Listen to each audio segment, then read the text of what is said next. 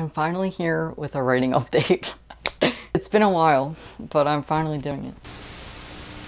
What's up friends? Welcome back to another video. I finally have my writing update. Better late than never, but it's finally here. I've been procrastinating it a lot just because I haven't been in the writing mood. And I said that would happen in my first writing update. I was like, oh, I hope that doesn't happen. Jinxed it. And here we are. Let's just get into it. If you have not seen my writing update from the beginning of the year, let's have a little recap. I am writing a high school musical retelling with a trans main character. This is my second work in progress. I have finished my first draft of my hockey book. That was the first book I ever wrote. I wrote it for NaNoWriMo of 2019, I believe. I haven't touched it, but I'll talk about some of my NaNoWriMo plans for July in this video. So give it a thumbs up and hit subscribe if you haven't, if you want to see more of my writing content. I'm trying to hit 3,000 subscribers by the end of the year. So hit subscribe subscribe, and let's get to the video.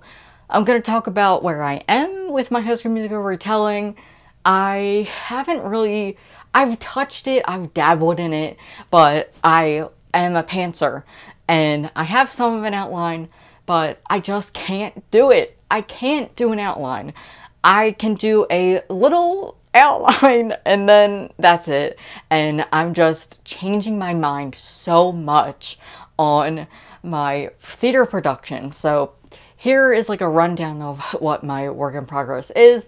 It is about a trans boy named Jonah and his house catches fire and he is forced to move from New York to Pennsylvania with his family. He has to start over for the last semester of his senior year of high school. And the plot is really changing because I am taking some aspects of High School Musical. It's kind of like a gender bent High School Musical where Jonah is my Gabriella. He is a math geek and then we have my love interest, who is our Troy. So I really enjoyed that. She's always late to everything, and I love their chemistry a lot. I'm not going to reveal her name just because I don't want anyone stealing my ideas. That's my own anxiety, but I just don't want that. And then we need to have the production. So if we all know the story of High School Musical, we have Troy, who is the jock. We have Gabriella, who is like the nerd. She's just come to school. They meet on New Year's Eve, they sing together, and then they never see each other again. Even though they have each other's number, they never talk. And I don't get that. Um, so then Troy like calls her in drama class and oh my god, I can't believe that she's there and all of that stuff. As I am doing more research and watching the movie over and over, the story begins to make really no sense. Um, so my story is going to make more sense than the actual School Musical does. um, but we know the classic rundown of Troy and Gabriella, the jock and the nerd, and then they audition for the musical musical. So that is what I am basing mine off of. I've added some musical elements to this story where we have my female protagonist who is the lead vocalist for her band that she's in with her friends. It's a pop punk band and I really enjoy it. So I am writing a dual perspective, which I've never done. I write in third person and it is daunting to write a dual perspective just because I need to have a certain amount of scenes and a certain amount of scenes with both characters and it is so difficult because one I write out of order and I'm a pantser so it's like a hot mess in my document right now but I'm having fun with it. I have 45,000 words. When we last saw each other I think it was 35,000 I had so I've only written like 15,000 which is fine because then I had another idea because classic me, I had another idea and now I have another idea and I'm outlining another idea. But I am focusing on my High School Musical retelling. I just have another outline that I'm fixing because my mind does not shut off. My mind does not shut off and I have so many ideas and I hate it because I just want to stick to my two work in progresses. But my mind is like, hey, Alex, what if we do this? What if we do this? And I'm like, stop. Please stop. but that's fun. Like, because then once I'm finished both of these, then I have time to focus on my other ideas, which is fun because if I just write it all down, then I won't forget. I'm a very forgetful person. So it helps me to get everything down and then I can move on from it until I have time to actually focus on it. I have changed my High School Musical retelling around so much. I have one of my best friends from high school she is getting her PhD in theater, and so she's like my rock right now, and I am getting a lot of information from her, and she is the reason I know all of my knowledge about theater. I was not a theater kid until I met her in high school, and she is helping me so much with this, and I have changed the theater production four times. So initially when we first talked, I was going to do where they perform High School Musical, and I got a comment saying, oh, that might be too much like the TV show. 100% correct. And so I was like, okay, let's brainstorm again. And I talked to my friend, and she gave me some really good advice. And then I was like, okay, let's do Hello Dolly because that is something I can relate to when I was in high school we had a production of Hello Dolly, and there was a senior who has never done theater before, and he got the lead role. And then I realized it was Bye Bye Birdie, so I was like, okay, cool, let's do that. And then I was like, no, I don't want to do that. And so now I'm probably going to do Guys and Dolls.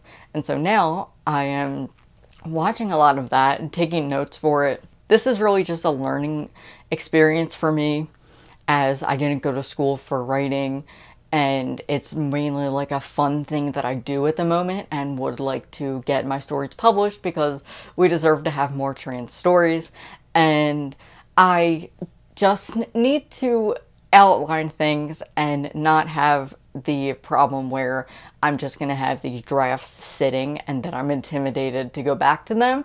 So that's where my School Musical retelling is at the moment. And I just need to carry on with it. I've done like writing during the day sometimes, like if I have an idea, I'll just go. Um, so I've been having some good days where I write like 2,000 words and then other days where I write like 200 words, which is totally fine because I just need to balance everything in my life. I'm doing Patreon, I'm doing videos for this channel, I'm reading, and I'm playing The Sims and I am doing a lot of things. At the end of the day, it's a hobby for me, and if I can write like a hundred words one day, that is totally fine with me. And I know that the story will keep going. I am going to work on editing Breaking the Ice in July for Camp NaNoWriMo. My goal in June is to try and read Save the Cat. Let me go and get it really quick. I bought Save the Cat Writes a Novel last year and never touched it and my goal for this year was to read it. So in June before Camp NaNoWriMo in July, I'm going to read this. And Jessica Brody is coming out with a young adult version which I'm really excited about. It comes out, does it come out this year? No, I think it comes out in a couple years. I'll have to double check on that. I am excited. I've heard this is a really good source. Aiden Thomas talked about this in a live stream where he said that this is such a good resource. So I'm going to take the time to read it during my chaotic month of June and I'm very excited. So we'll see what happens. I'm excited to see what's in it. I don't know too much about it except that everyone praises it and I'm hoping it's going to help me. I've been watching a lot of Mighty Ducks. I just watched the show on Disney Plus. It was Mighty Ducks Game Changers, and I'm gonna watch the Mighty Ducks movie. Yeah, I've never watched it before. I am just not a big Disney person.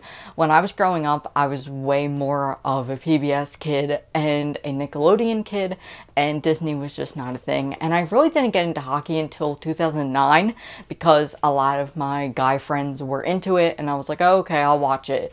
And here we are. So I am gonna watch the Mighty Ducks. It's gonna be fun and I will film a writing vlog for you all to watch. So that is it, I guess, for my writing update. Leave some comments down below if you want me to talk about anything further in a writing vlog. I just thought I would update you a little bit on where I am and I'm excited to get back to my project. If you are working on anything at the moment, let me know in the comments. I would love to hear about it. If you do any like writing videos, I would love to watch them. I'm obsessed with watching that content. So if you want to promote yourself in the comments, definitely do. So that's it for me today. Thank you all for watching. And if you stayed till the end, comment a notebook or a pen emoji so I know you stayed. Thank you for watching. I know this is very niche content, so it's not going to get as many views as I would hope. These kind of videos are less content for me, but more of a document of where I am in my journey so that I can look back on them because I really love watching my writing vlogs. They help me motivate myself of me being so excited to write my hockey book. I can't wait to get back into it. Thank you all for watching and I will see you next time. Bye.